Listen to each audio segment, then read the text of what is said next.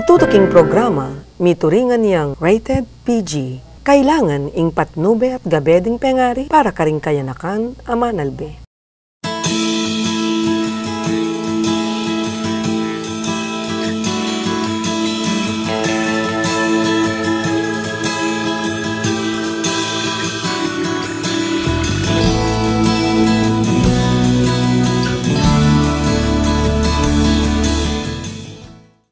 Ah, maayap ang oras at kami po ay ah, mapapanood nyo sa GNN TV 44 at Bright FM 91.9. Yan po ay simultaneous. And ah, maraming marami pong salamat doon po sa mga nag-text at ah, bumate na maganda daw ating programa. At ah, syempre kami po ay nagpapasalamat sa lahat ng staff and management of GNN TV 44 at doon sa mga sumusuporta po sa amin. And ah, ngayon pong umaga, Siyempre, ah, isa na naman pong magkakaroon tayo ng isang guest na this is very relevant to a family life sa ating pampamilya. At ito po ang sinasabi usually nila na nagiging salot po ng society or salot ng ating bansa. And ah, ngayon po ay i-discuss namin na ano po ba ang epekto ng drugs sa isang pamilya.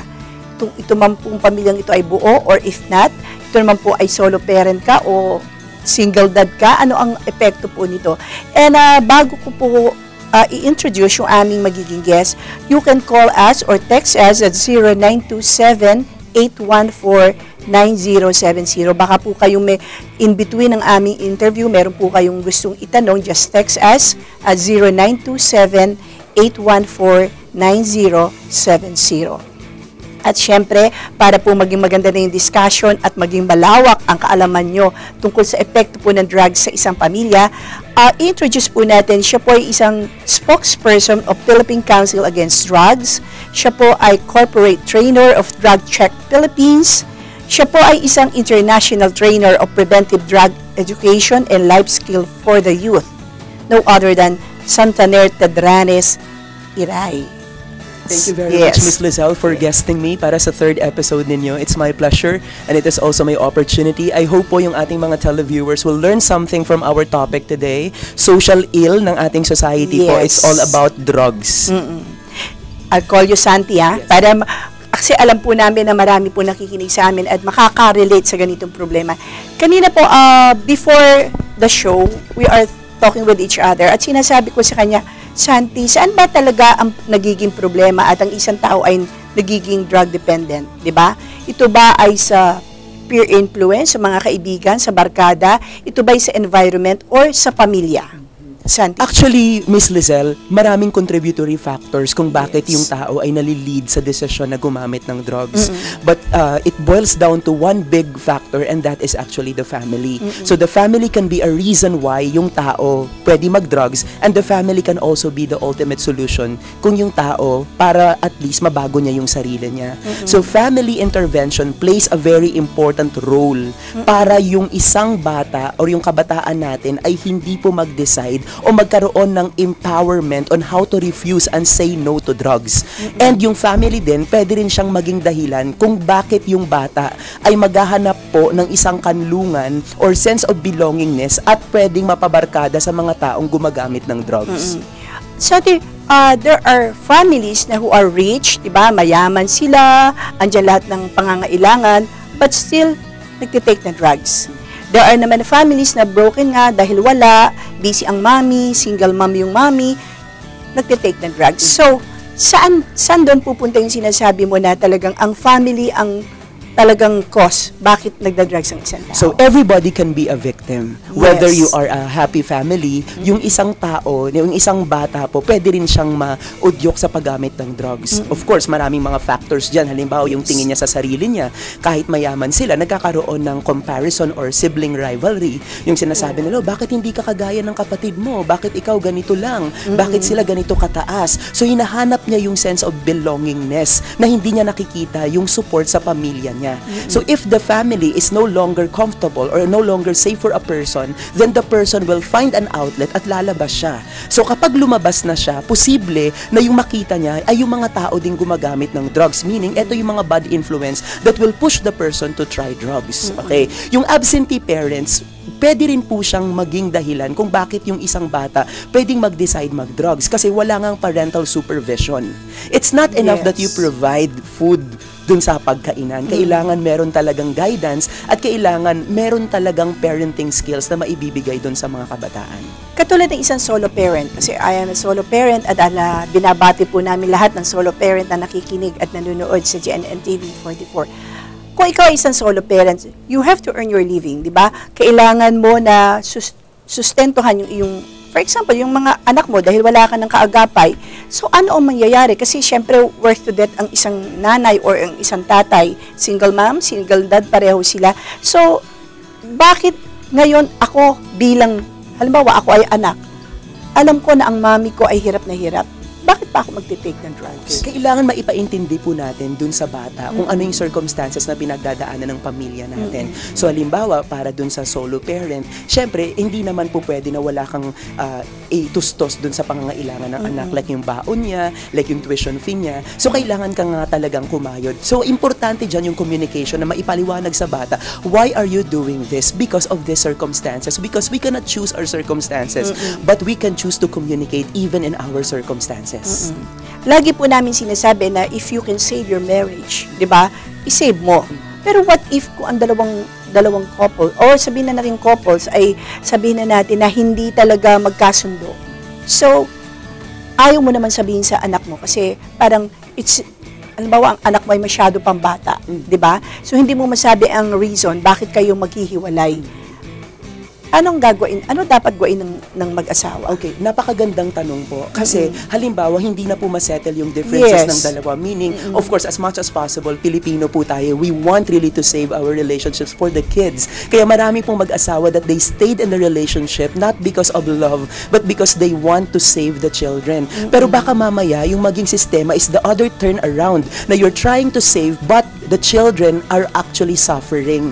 So, kailangan maipaliwanag din at maipaintindi sa bata kasi minsan natatakot tayo, may apprehensions tayo na hindi maintindihan ng ating mga anak. But the good thing about it is we would be able to communicate what is the reason about this and at the same time, enlighten to them na bakit kailangang humantong sa ganito kasi hindi na kayang isave yung relationship. And saving the relationship would mean psychological effect for these people or for these children na makakarinig na every time kayong dalawa ay nasa bahay, ay nag-aaway lang kayo. Okay. So, paano naman yung masabihin na natin meron akong halimbawa isang anak na drug dependent, pina-rehab ko na. Then after a while, nilabas ko siya sa rehab and then after a while, gumamit ulit. Mhm. So ang tawag po dyan ay relapse. So marami din po talaga tayong mga this time ah, gustong pumasok sa rehabilitation pero talagang bumabalik pa rin doon sa punto na gagamit pa rin sila because they are experiencing withdrawal symptoms which is the very ah, crucial stage talaga ng ng ng rehabilitation process. So importante dito yung guide pa rin ng family. Kasi Okay. doon sila humuhugot ng support eh, na you are there to help them out para ma-renew yung sarili nila because they were able to like make wrong decisions in the past and dapat yung ginagawa natin instead of like pointing out na nagkamali ka, nagkamali ka, dati kang ganyan, dati kang ganyan. Sinasabi, dapat is- addict ka dati. yeah. We don't call them addicts. In fact, sa international standards, we call them with substance use disorder because yung addict ayaw nilang marinig yan because it creates social stigma. So papaano sila makaka-recover kung ikaw mismo ini-instill mo sa kanila na dati kang addict, dati kang addict, dati kang ganyan. So if they made a wrong decisions in the past, it's part of the past. So you cannot be stuck with your Correct. past. So the best way to recover is hashtag move on na. Don't allow your past to define your future. Your future must be bigger than your past wrong decisions in life. And you cannot go back and change your bad beginning, but you can still write a beautiful ending of your own story. And that beautiful ending must be coupled with the support from the family. Paano naman yung iba na sabihin na natin, ang tatay, drug dependent. Eh, ang anak, ganun din. So, siya mismo, sometimes, siya mismo nagtuturo sa anak ng gumamit. Mm, tama po. Because the greatest influence you can give to a person is not what you say, but who really you are as a person. Ibig sabihin yung akto mo, that's the greatest influence that you can share. So tama yun. Kasi may mga cases na, oh, tama naman pala yung tatay ko eh. Sinasabi mo akong wag manigarilyo, pero ikaw naninigarilyo kapag nakikita, kapag nasa likod ka at nakikita ko. 'Di ba So, ibig sabihin, iba yung sinasabi mo kesa dun sa ginagawa mo. Okay? Pero, like, I have to cite this example. ah. In my case, my father was a chain smoker. He's in fact Oh. a member of Alak 5 and Alak 6, but I saw my father suffered because he died when I was 10 years old. And I knew at na-observe ko yung mga repercussions of his actions. So this time, sa sarili ko, parang yung nag-flashback siya na kapag mag kapag magsisigarilyo pala ako, ganito ang mangyayari sa akin, magkakaroon pala ako ng emphysema, magkakaroon pala ako ng sakit sa lungs. So that's the reason why I am not smoking. That's also the same reason why I don't drink liquor. I don't even drink coffee. And of course, I had a minimal intake of soft drinks this time. Sabi nila, bakit daw ang daming dra- nagda-drugs ngayon sa country? Ano ang ang pinaka-reason? Ah, okay. So, medyo mahabang usapin po ito kung Oo. bakit hindi po nasasawata yung drug sa Pilipinas ngayon. We have to commend also the efforts of our PIDEA or Philippine Drug Enforcement Agency para po dito sa supply Yes. reduction. Marami naman silang nagagawa. And the Dangerous Drugs Board also para dito sa ating demand reduction. Pero kasi kung titingnan natin yung ugat, it boils down doon sa kahirapan. And because drugs is an easy money, marami talagang nagpo-push ng drugs. Pero this is my point. Pag walang user, walang, pusher. Sure. Diba? correct, Pag correct. walang user, mag-shift ng profession ang pusher. Kasi lugi ang negosyo nila para yung karinderya eh. Pag walang kakain sa karinderya, close ang karinderya. Walang Ibig negosyo. Walang negosyo. lugi ang negosyo. Pero, how can a user say no? That's the next question. Like parang pag ikaw, inoferan ka ng kaibigan mo, kaya mo namang kontrolin yan. How can you say no? That is where education plays a very important role. Bakit? Education is part of intervention. When you educate a child na ito yung magiging epekto sa brain mo kapag ikaw ay gumamit ng drugs at kapag ikaw ay nag-abuso ng drugs, yung may instill sa mind ng anak mo, ah, kahit yung kaibigan ko, inalok ako, pero sinabi ng nanay ko na ito pala yung epekto sa brain ko. You are creating fear as greater than the desire. Because once the desire is greater than fear, Yes. titikim ang bata. Pero once the fear is greater than the desire, hindi siya titikim kasi may takot siya. May takot siya na ito yung magiging epekto kapag gumamit ako. So you mean, talagang kailangan i-educate sila? Exactly. I-educate yung mga Oo. bata about their decision so that they have the power to refuse.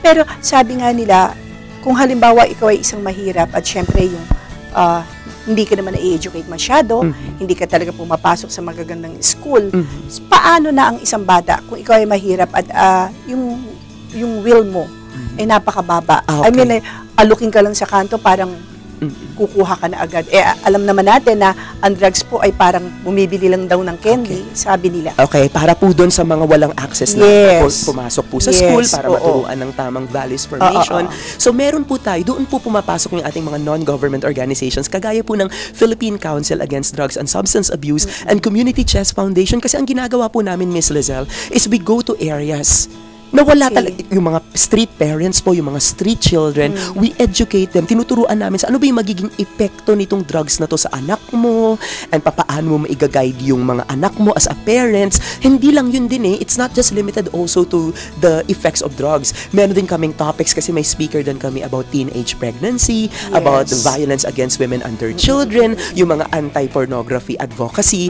So bumababa po tayo dun sa mga areas na walang access po para ma-educate sila. So lahat po kasi tayo, we can always make a difference. Para sa iba nating mga kababayan po na hindi po pinalad na magkaroon ng access to education. So, babalik po ang My Family Forever. Words from our sponsors.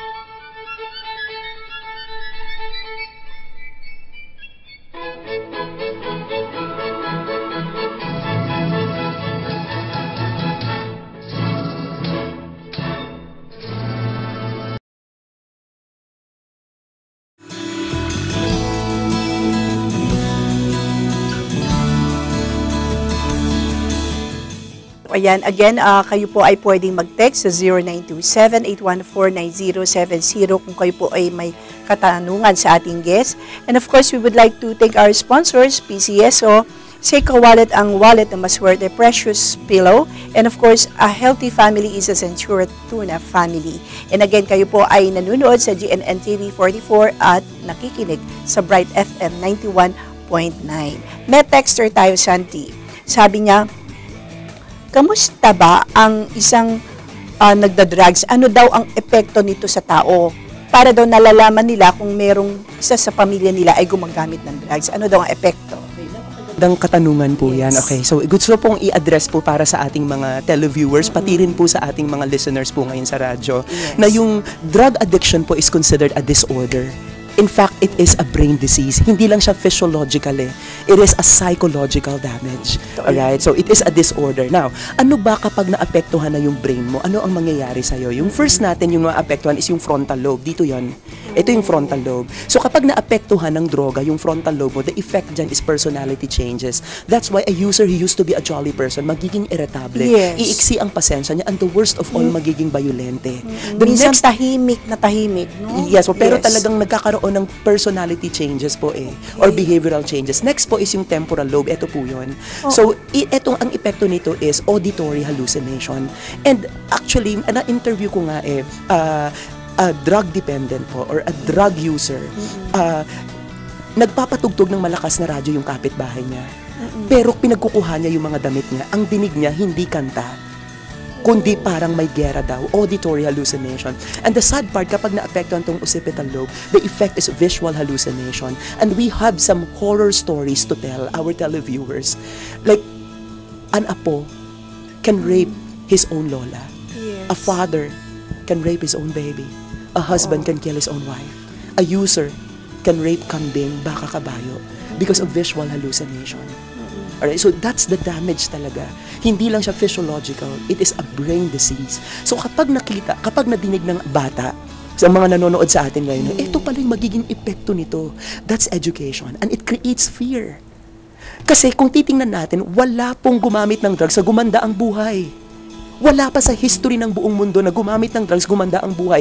A lot of stories have been told na gumamit ng drugs, naging masama ang buhay. So bakit ka pa gagamit?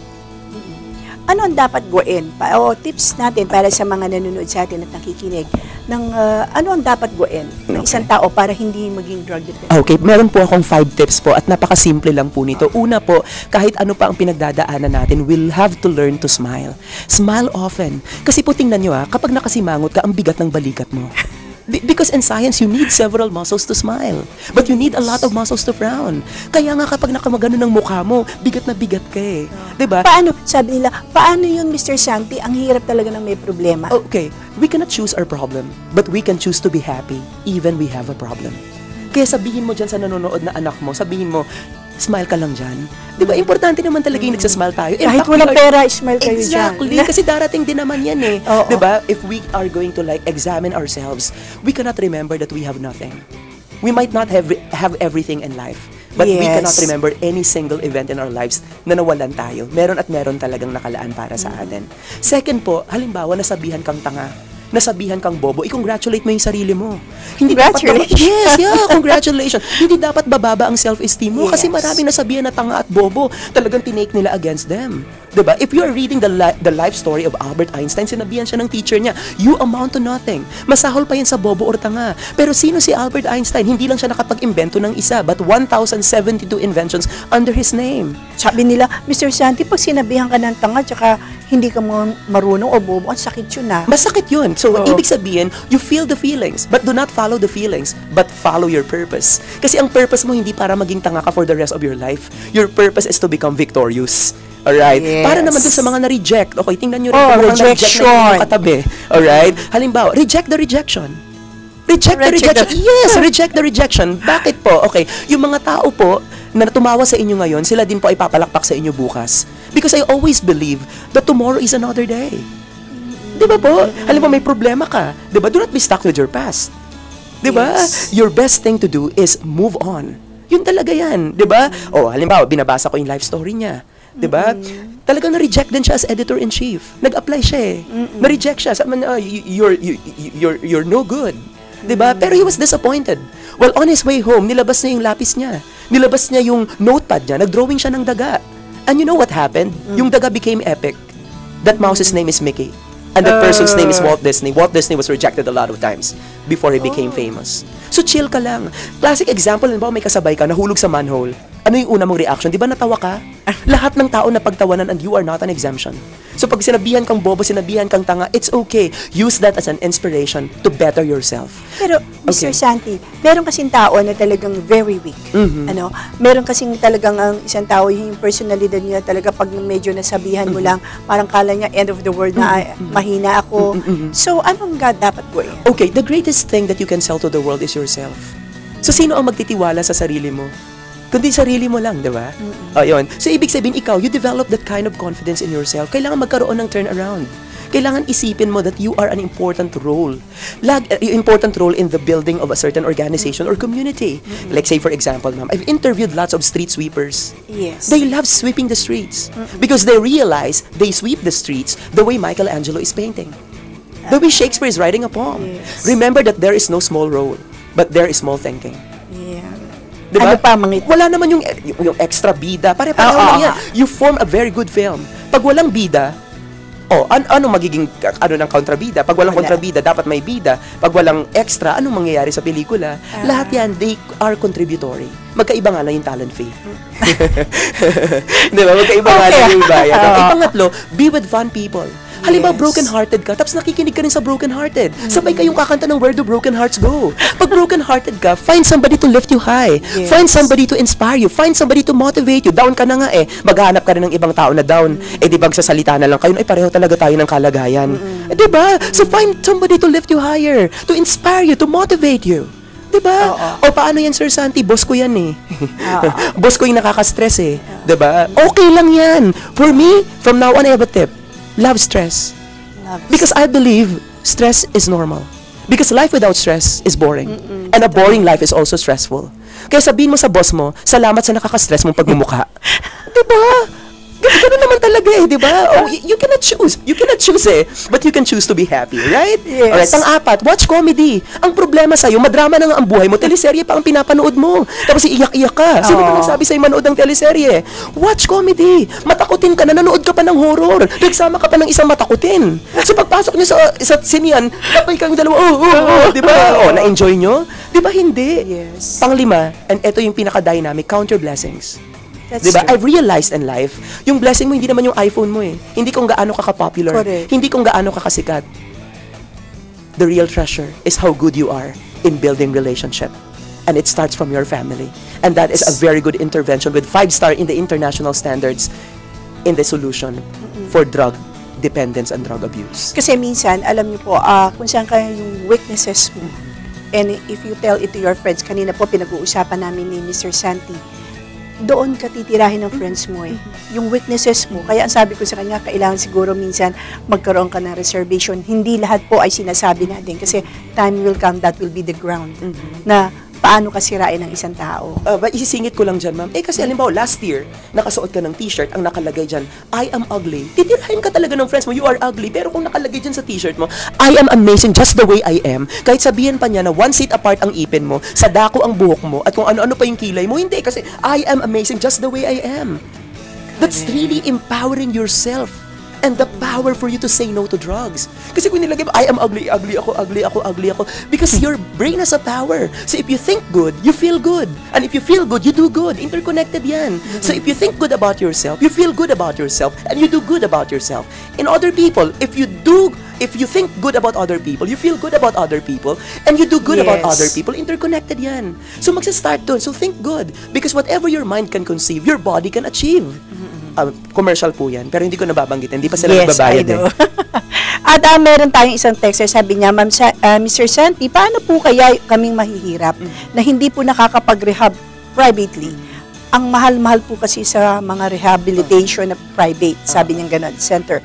Ah, paano naman po kami na mahihirap? Saan naman po namin dadalhin ang anak namin mga drug dependent? Bago ko sagutin yan, ma'am, susungitan ko lang yung mahirap. Nagiging excuse kasi natin yung pagiging mahirap eh, Yes, lagi. Okay. oo. Alam niyo po, kapag ikaw po'y pinanganak na mahirap, hindi mo po kasalanan yan. Because you cannot choose your parents. Pero pag namatay kang mahirap, kasalanan mo na. Because you did not consume your three T's. Time, talent, and treasure. May talent ka eh. You did not do anything. But to answer po dun sa tanong ninyo, ano, meron po tayong mga government agencies na makakatulong para po sa rehab. Meron po tayong Rizal Medical Center. Pwede po tayong lumapit doon. Wherein pwede po tayong ma-assist. Kasi po, ang rehabilitation po would range from 30 to 50,000 per month. 'Di ba? Private po ito. Yes. Kaya po, ano ang anong gugustuhin mo? Gumamit ng drugs na may bayad? Or smile often? Laugh at yourself? Be with fun people? Watch comedy? Count your blessings? Mga libre yun. Yung drugs may bayad. So dito ka na sa libre. 'Di ba? So hindi mo naman aabutin 'yon kung hindi ka nag-try. Lahat po nag-umpisa yan sa pagtikim. Kaya po yung advocacy ko, do not try. Because not 75% of those who tried, they thought they can control using drugs. Mali. Because as you go along, you're craving for more dosage. The answer is no. Correct. Paano naman yun na Mr. Santi kung ikaw ay halimbawa isang broken-hearted? Eto na po, ah, papasok na naman si broken-hearted. Ikaw ay isang broken-hearted. Eh, ano ang dapat gawin po ng isang broken-hearted kung ang kausap mong kaibigan ay ganun din? na broken-hearted. Oo. Sinabi ko na nga po kanina, di ba, Miss Lizelle, na kung broken-hearted din yung kausap mo, sabay kayo kakanta ng Where Do Broken Hearts Go? Di ba po? Pero i-process ko lang po yung about dun sa pagmamahal. Naniniwala po kasi ako that uh, love po is perfect. Yan. Oh, cheesy po Alam ito. niyo po, love ha? is perfect. Love is Oo. perfect. Love is perfect. Pero po, bago yan, love is not just a feeling. Because if love is a feeling, it will fade away. Loving is a decision. It is a choice. choice, yes. Parang droga din po. Yes. Opo. Using drugs is also a choice. Walang taong tinutukan ng baril na kapag hindi magda-drugs at the end of the day, papatayin siya. Using drugs at the end of the day is your own choice. That's true. And yung pwede mong sisihin sa sarili mo is ikaw din because of your own choices. Pero of course, we are not here to judge, but to allow everyone na matuto para dun sa kanilang decision. Okay? Tapos balikan ko lang ulit yun dun sa broken-hearted po. I believe that love is perfect, but the person you are loving is not perfect. But there is unconditional love. And Yes. unconditional love, ang ibig sabihin yan, is loving the imperfect person perfectly. Kapag broken-hearted ka, feel the hurt. Huwag mong sabihin na hindi ako na-hurt, hindi ako na-hurt. Di ba? Kasi na-hurt ka nga eh. Dinedeny eh. Because that's the that's the hardest part of Dinedeny. pain. That's the hardest part of pain. Pain should be felt. 'Di ba? Oo. But feel the feelings. Kasi nasasaktan ka eh.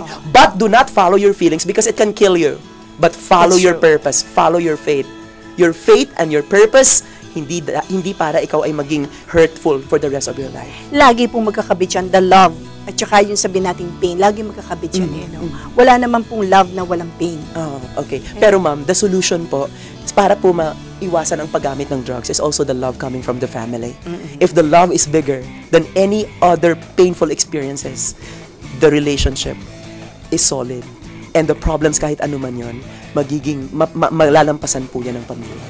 And uh, bago po kami uh, magpaalam ni Mr. Santi, we would like to thank the support of the National Comedian Filipino family headed by ASEC Romo and of course ang secretariat po ng NCFF and of course the head of the legislation committee no other than Dr. Abelia Angie Abella, the head of the Plan and Research and Programs, Dr. Cindy Dolienta Ang, and of course the events management mo na headed by si Miss Heidi Fardo of LDS. And of course, again, maraming maraming pong salamat sa solo parent na aming member ng Naing Foundation, ang Orani, Orani Solo Parent. Santi, final message for our televiewers. Ah, okay. So, ah, maraming maraming salamat po sa opportunity na to. So, yung learning po kasi, importante na sinishare natin. Ika nga sa isang telenovela po na aking na panood po, yung ending lang po ah. Alright, sabi po doon, tayo daw po, binigyan tayo ng chance para pumili kung sino at ano ang mamahalin natin. Pero kung kailan matatapos yung chance na yun, hindi natin hawak. Correct. So, for as long as we can, share Share. share that love. So sabihin mo po dyan sa katabi mong pamilya, i-share mo na yan. Huwag mong itago. O, diba? Kailangan i-share po yan. Tanungin niyo kung bakit, ma'am. Oo. Kasi kapag namatay ka and you share that love, that love will still remain. Pero kapag namatay ka and you did not share that love, that love will die with you. Totoo po yan. Importante po yung pagmamahal when it comes to the intervention na nanggagaling po sa family para po magkaroon ng refusal skill yung isang tao to say no to drugs. I wish that your family will become stronger, will become happier, and kailangan po magkaroon talaga ng communication at wala pong barrier. Maraming maraming salamat po for guesting me. Yes. At the best po talaga sa isang pamilya ay magkaroon ng communication. And uh, doon po sa mga nag-text pa sa amin na hindi na po namin mabasa regarding love, siguro next time po we will uh, have a guest on love expert naman po. Talaga pong ganyan. Uh, it's just a matter of paano mo paano mo a-adjust ang sarili mo, paano mo maititake. And whatever pain you are, sabihin na natin having the feeling now na ikaw ay nasasaktan, sabihin mo, di ba, Alsanti, uh, accept reality and face it peacefully. So again, ito po ulit si Lizelle po. Until next week,